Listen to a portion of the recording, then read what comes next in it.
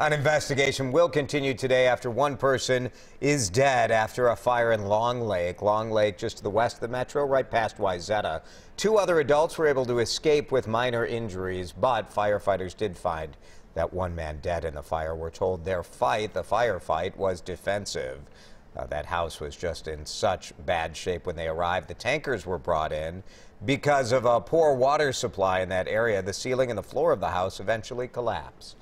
The third person was still unaccounted for. When we arrived, um, we were told um, that the last known location was an upstairs bedroom. Um, we tried to make entry into that bedroom from the exterior because we were totally defensive on this fire. Um, could not do it. Um, once we got the fire extinguished, um, there was a victim that was found on the first floor. State Fire Marshal has been called in to investigate.